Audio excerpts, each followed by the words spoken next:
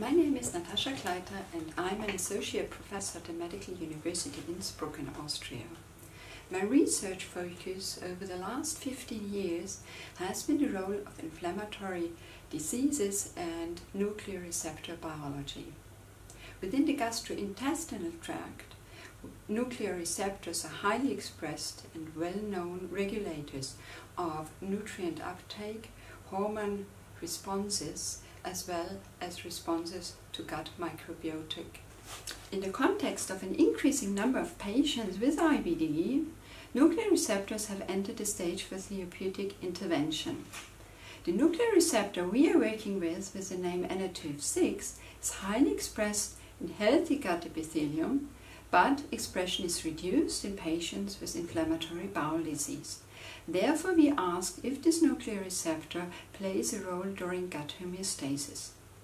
For this study, we teamed up with a local gastroenterology department and could identify for the first time an important regulatory role for NR2F6 in the regulation of gut homeostasis.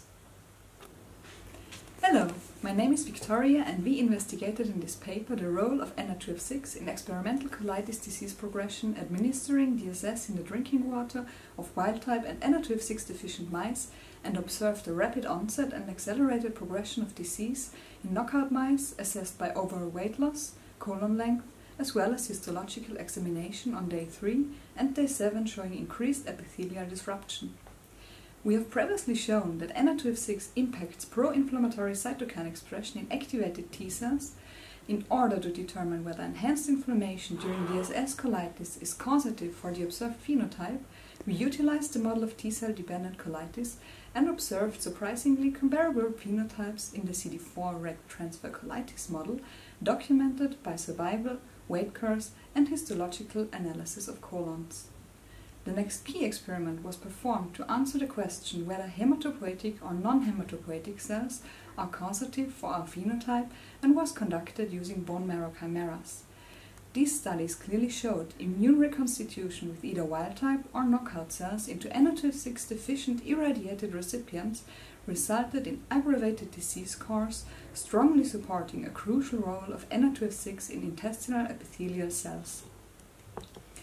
To prove our findings, we quantified the mucus covered area revealing a significant reduction in colon sections of NR2F6 deficient mice with less MUC2 expression and a higher barrier permeability assessed using FITSDAX running steady state as well as after DSS administration. In addition, as a penetrable inner mucus layer is a hallmark of spontaneous IBD development, we investigated aged one year old NR2F6 deficient mice and observed signs of spontaneous colitis with shortened colons, elevated histological scores, and reduced goblet cell numbers. Mechanistically, we could show a NR2F6 binding capability to the mouse and human MUC2 promoter with a reduced potential under inflammatory DSS colitis conditions, suggesting that this interaction indeed results in altered transcriptional activity. Summarizing our findings, the loss of NR2F6 in the intestinal epithelium appears to be the primary cause of enhanced disease susceptibility, validating for the first time NR2F6 as a protective player in the counter-regulation of intestinal inflammation.